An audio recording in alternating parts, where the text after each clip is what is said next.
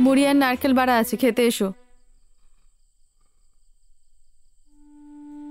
বসো। কি হয়েছে? মুখটা ওরম গোমনা কেন? আমার শেষ সম্বলটাও নদী নিয়ে গেল। বলো কি? হ্যাঁ গো। আমার একমাত্র নৌকাটাও আজকে নদীতে তলিয়ে গেল। তার জন্যে কেঁদে কি হবে?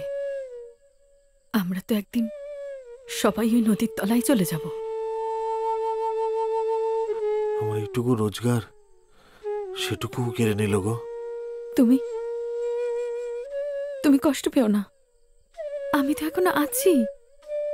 আমি ঠিক পার করে দেবো সব। দেখো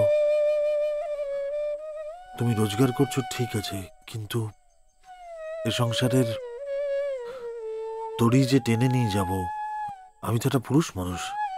পুরুষ মানুষের রোজগার ছাড়া আর কিছু থাকে? কিচ্ছু থাকে না। আমি তো রোজগার করছি আমি তো এখনও মরে যাইনি। তুমি রোজগার করছ আমি তোমার উপর আমি জানি তুমি এই সংসারের অনেকটাই অনেকটাই করো তুমি। আমার কি ছিল বলো? আমি তো সামান্য করতাম আর অন্ধকার নামলে আমি একটু নেশা করতাম। এখন সেই নেশার টাকাটার জন্য তোমার কাছে আমাকে হাত পাততে হবে। স্ত্রীর কাছে হাত পাতার থেকে নেশা করাটা ছেড়ে দিলে ভালো হয় না? খেতে এসো।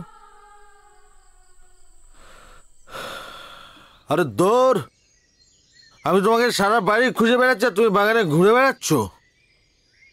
তুমি আজকাল দিনের বেলা দিন নেশা করা শুরু করেছ। শোনো আমি তো এখন ছোট নেই। বড় হয়ে গেছি প্রাপ্তবয়স্ক আমি বিয়ে করেছি। তাছাড়া আমি জমিদার বাড়ির ছেলে আমাকে নেশা করাটা মানায়। জমিদার বাড়ির ছেলে হলেই নেশা করতে হবে এটা কোন শাস্ত্রে লেখা আছে? শোনো তোমার সাথে আমি বাজে করা বলতে চাইছি না হ্যাঁ? আমার সব- আমার একটু টাকার দরকার আছে তুমি আমাকে টাকা দাও। না টাকা দেব না। যতদিন না পর্যন্ত তুমি নেশা করা ছাড়বে ততদিন আমি তোমাকে একটি পয়সাও দেব না। শোনো বাজে কথা বলো না হ্যাঁ? এই বংশের সমস্ত সম্পত্তির অধিকার আমার আছে। তাছাড়া এই বংশের উত্তরাধিকারীও আমি আনব। দেখো সেই জন্যই তোমাকে বলছি যে নেশা করা ছাড়ো তা না হলে একদিন ওই নেশার জন্যই তোমাকে পথে বসতে হবে। হ্যাঁ করতে বাজে কথা বলো না। টাকা দেবে কি দেবে না সেটা বলো। না দেব না। তোমার লজ্জা করে না? বাপের টাকায় নেশা করছ বসে বসে? যাও না গিয়ে রোজগার করে নিজের টাকায় নেশা করো। যাও।